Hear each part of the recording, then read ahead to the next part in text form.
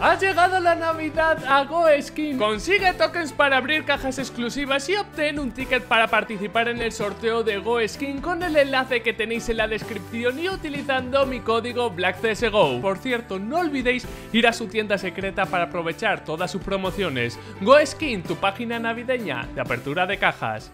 Muy buenas a todos amigos, soy Black, ¿qué tal estáis? Y bienvenidos una vez más al canal. En el día de hoy vamos a abrir cajas esperando que nos toquen nuestros primeros guantes de la nueva caja. Y también vamos a hablar de CSGO en 2021 Así que espero que disfruten muchísimo del vídeo. Y vamos a abrir esas cajas ¡Let's go! Y ya está todo el inventario, así que vamos al lío Voy a abrir 100 cajas, os pondré los mejores momentos Pero antes, como siempre, vamos a hablar un poquito cara a cara Lo primero, feliz Navidad eh, Como he dicho también en el vídeo de esta tarde Espero que todos vaya lo mejor posible dentro de lo que cabe, ¿no? Ya la celebréis solo, la celebréis acompañado Os guste más o menos Os deseo la mayor de las fortunas en este día y en todo el año que viene, porque 2020, como digo, ha sido un año complicado para todos, también para CSGO, ¿vale? Ha sido un año en el cual apenas ha habido eventos, se han tenido que adaptar y la verdad es que... Mm, han caído comunidades. Os hablo de, por ejemplo, Norteamérica. Como sabéis, este, bueno, que no ha habido eventos, también la llegada de Valorant se ha juntado todo y en Norteamérica muy pocos equipos van a seguir apostando por Counter-Strike. Por ejemplo, yo creo que el caso más sonado es el de 100 Thieves, que eh, quitó su equipo y muchísimos equipos de Tier 2, Tier 3 han desaparecido.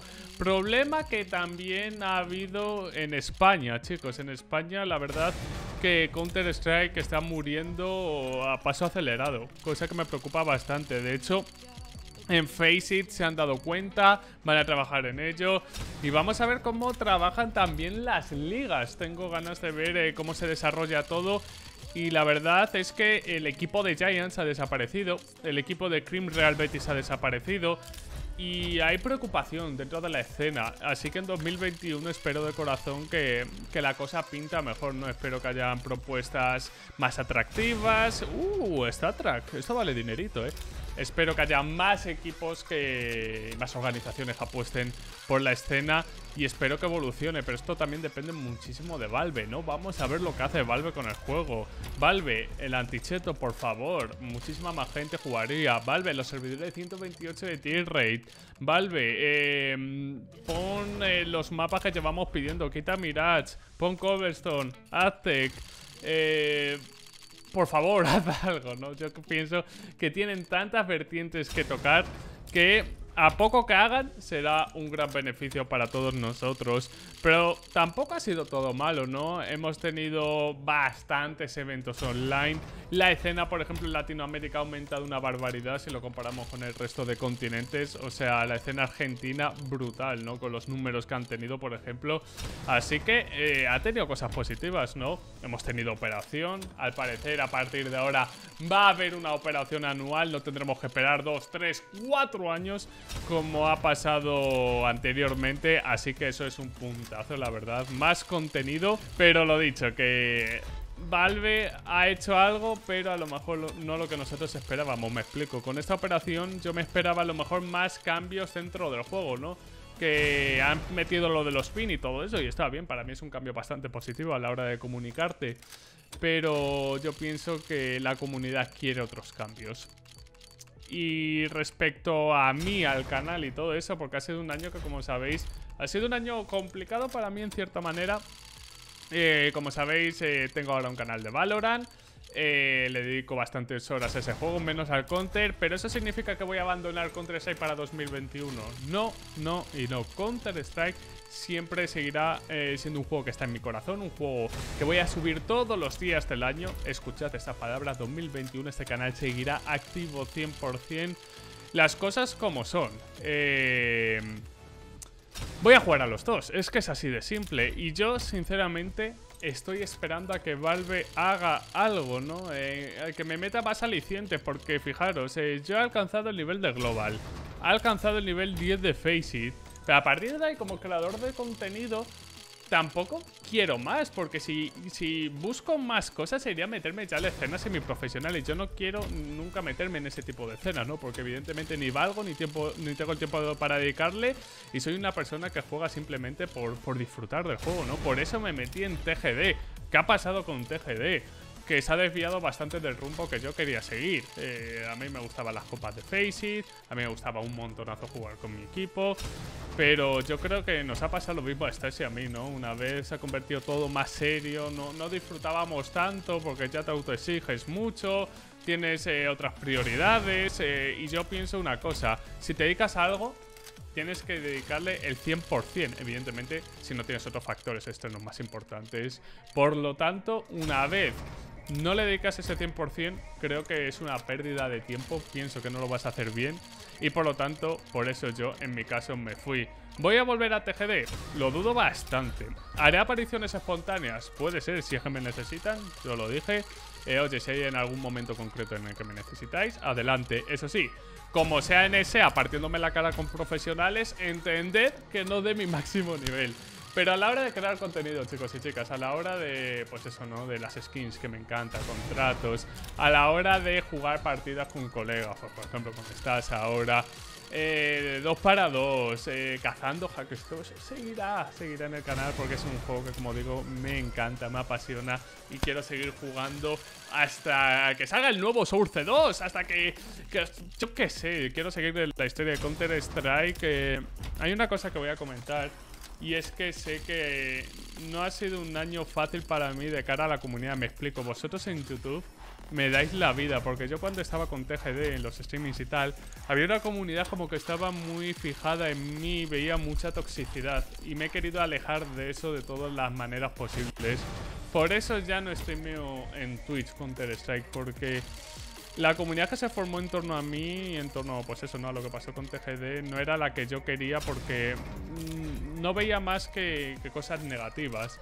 Ahora, eh, mi canal, yo lo veo totalmente distinto. Veo que me apoyáis, veo que me queréis, os gusta mi contenido, lo mejoraré. Pedidme lo que queráis en los comentarios, os escucho, os leo.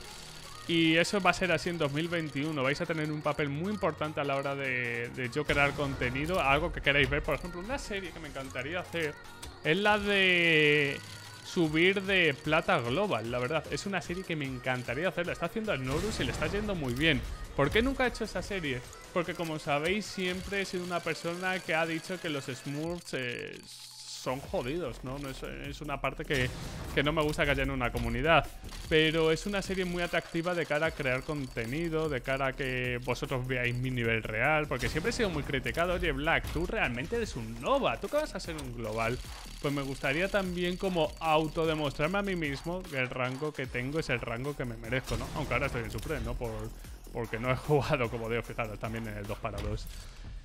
Y, la verdad es una serie que me encantaría hacer en 2021.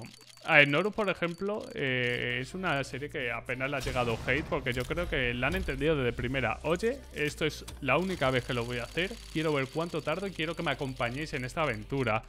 En solo Q, ¿eh? En solo Q, jugar solo. Porque también se, me ha dicho, oye, Black, tú has subido gracias a, a tus amigos. Y eso que he jugado más solo que con mis amigos, ¿eh? Pero, como digo, es algo que, que me gustaría hacer con vosotros y que me gustaría que me dijerais en los comentarios. Y yo creo que nada más, de verdad. Yo creo que, que ya está todo. ¡Oh! ¡Vamos! ¡Oh! ¡Así acabamos 2020! No ha sido el mejor año de mi vida, no os voy a engañar, fiel este. Pero aquí lo tenemos, chicos y chicas. Vamos a ver cuánto vale. Let's fucking go, chicos. Ah, hoy va horrible, hoy va horrible. A lo mejor os lo pongo en pantalla, os pondré el precio. Porque es que no, va, o sea... Me he tirado, no sé qué le ha pasado hoy al juego, me he tirado más de media hora para intentar hacer este vídeo de corazón. Menuda puta santa locura. Pues genial, tío. Genial que haya salido los guantes justo cuando quería acabar. Así que vamos a hacer una cosa. Voy a abrir el resto de cajas, voy a ver si me sale algo decente y os lo pondré, si es así. Pues última caja, chicos y chicas, menudo corte, porque no me ha tocado una auténtica mierda de eh, los guantes hasta ahora. Eh, fijaros, o sea, me parece que me ha tocado eh, una USP con esta, claro, está de arriba. Aquí la tenemos, esta USP, y ya para de contar. El caso es, ¿cuántos vale estos guantes? Eh, vamos a verlo. Tengo curiosidad porque aún no los he visto, ¿eh?